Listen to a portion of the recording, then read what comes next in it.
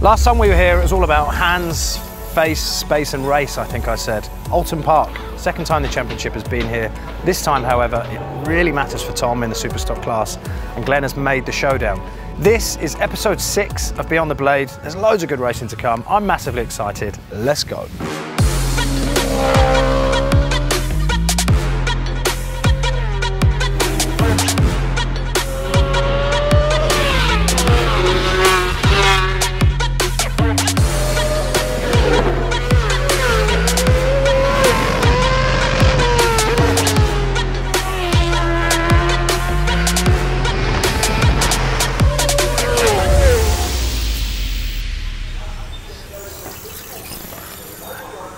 So what exactly is the showdown and why are we all getting so excited about it? Well, first we should have a history lesson.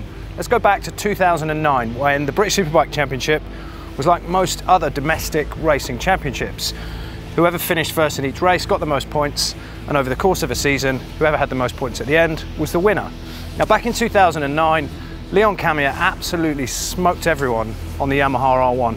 I think when there were four rounds left, he was 137 points down the road he just beated everyone. What that meant was the last four rounds of the season in 2009 were kind of dull as dishwater. Nobody really felt the need to turn up, and the racers didn't really feel the need to ride round. Championship was already in the bag. So, 2010, they introduced the showdown principle. However many points you've scored until typically, well, in this COVID year, round eight of the championship, all of those points then get thrown out of the window. The top eight riders on the grid then all start again with a thousand points. What you can also add to that is the podium credits that you've accrued throughout the season up until that point. So, I've managed to walk and talk my way to first place. I've given you a tiny bit of an insight into what the showdown principle means. Anyone in the top eight, they're the only people that matter now. They can score points. There is, I don't want to call it a wooden spoon championship, but there is another trophy for the person that finishes ninth in the championship. But this round, Donington and Brands and the remaining nine races are all about the showdown.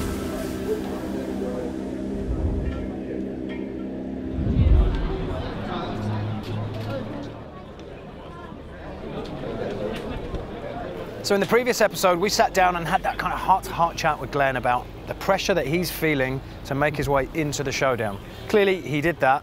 I think it'd be good to sit back down with him and see what's changed in terms of his mindset and his approach to the remaining rounds in the championship.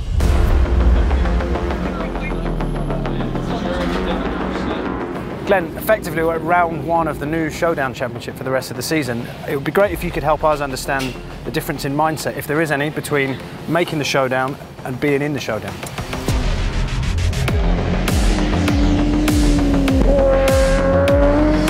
Yeah, first thing is, is making it. When you arrive here this weekend, uh, the championship looks a little bit different.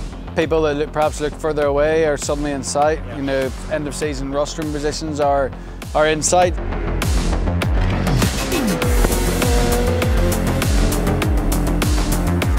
So yeah, you know, every point matters uh, as much as every point mattered pre-showdown cut. So it's similar. Um, you know, for us coming back to Oulton Park, yes, it's in the showdown, but a lot of this I would just want to see improvement in the bike.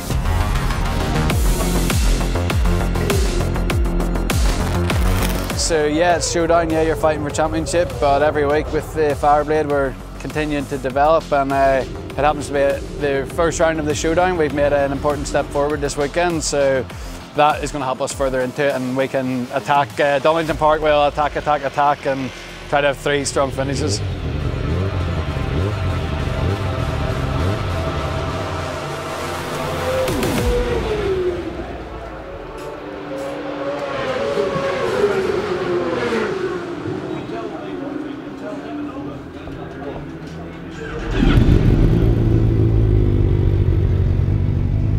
Coming to Oulton Park, it's always been a bit of a tricky track for me. I've never had a result here. And going off how I performed last year, which was just shocking, and then we crashed out of round one here at the beginning of the year, it was always the round I knew I would not struggle, but I had work to do. And there was always a bit of like anticipation really coming into this round.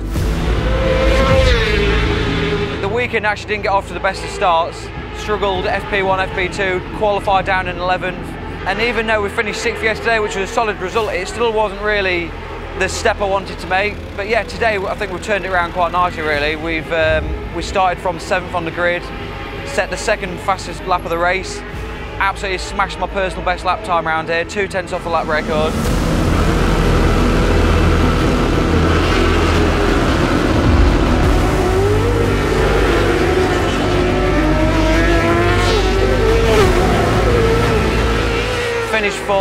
Was in a really, really comfortable position, worked my way through the field, and I felt I could have had a shot for the podium. But then last couple of laps, I just made a couple of mistakes and thought, I'm in front of the guys I need to be in front of for the championship home. So just bring it home.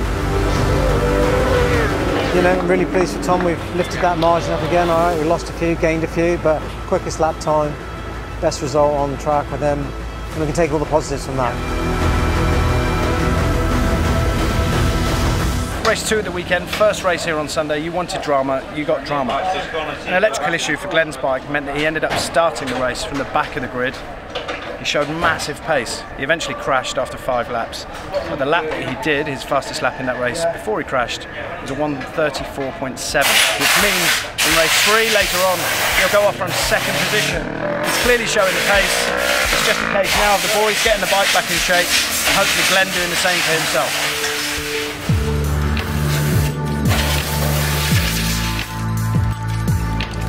Can I summarise the weekend? Well, um, not a weekend that we'd um, we wanted more. Yeah. You know, for sure. The riders wanted more. Team, we all wanted more. Thought we could do more.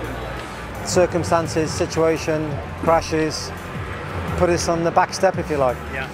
From a superbike point of view, coming away unscathed, unhurt, with a few of the incidents we've had. Yeah. We've been very lucky. We've managed to claw a few points, save a few points. Uh, we've got work to do with Takumi. Ryo's making progress. Yeah. Glenn's carrying an injury.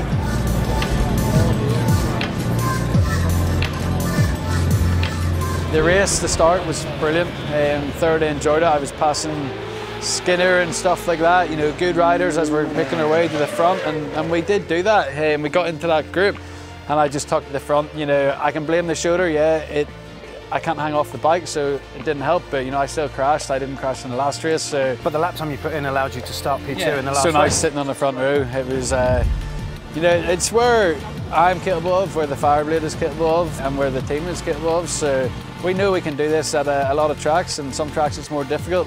There's glimpses this weekend of hopefully things to come in the future. I think we've all worked in a much calmer way we understand what needs done with the bike, and I think the boys are taking my feedback on board. And yeah, look forward to coming back here in the future. So you would think that the showdown kind of restarting the championship would focus the mind and allow us all to just take stock and take a bit of a breath. But no, drama all weekend. Highlight of the weekend for me is the lead that Tom takes into the remaining two races in the Superstock class. He's 20 points in front. In theory, if he can come out of Donington with more than 25 points in the bag, He's won the championship before he even puts his leathers on for Brands Hatch. So these guys are packing up and wrapping up. Before you know it, they'll be at Donington. I'm going to nip home, change my washing. I'll meet them there. The championship continues.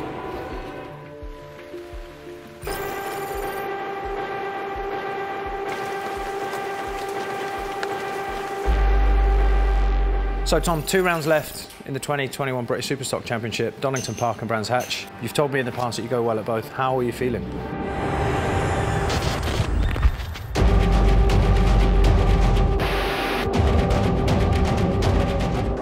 Donington's a track I've had a lot of success at. It's been good for the Fireblade, not just with me, with, with Glenn as well. And last year we had a win here and a third place, so if that's anything to go by, then we should be in for a really good weekend. But obviously in the second year of development, you've got understanding with the gearing, suspension and electronics and everything. So I feel like we've been a lot more prepared this year and that's shown at most places, to be fair.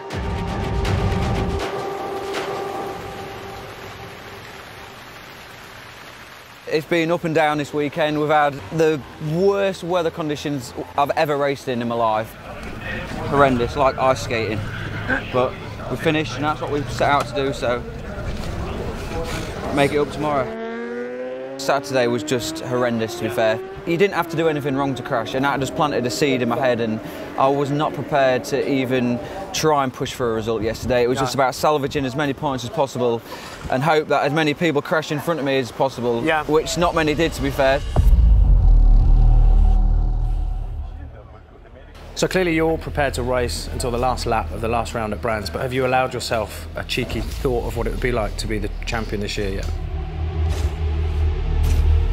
You're laying there at night and you can't help these thoughts just creeping, don't they? What it would feel like.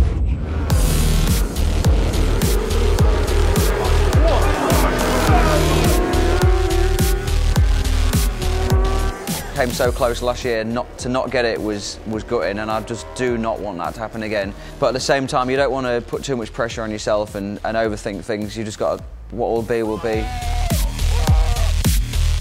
I'm at my best and relaxed and enjoying riding. I know what I'm capable of doing. They've all kept me honest in the championship, and I think everyone's had a go at getting on the podium and winning this year in the top in the top ten. So good race. Tom, what a weekend! Well, today was a good day. We finished third from 12th on the grid. I nearly got a little bit further up, but it, yeah. I got into a bit of a scrap in the mid part of the race, which affected the end result really. But I felt I didn't leave anything out on the table yeah, today. Yeah. It was there was no regrets in that race at all, and I think watching the race back, it'll probably be one of the most exciting Superstock races there's been all year. So. Yeah, I'd agree with that.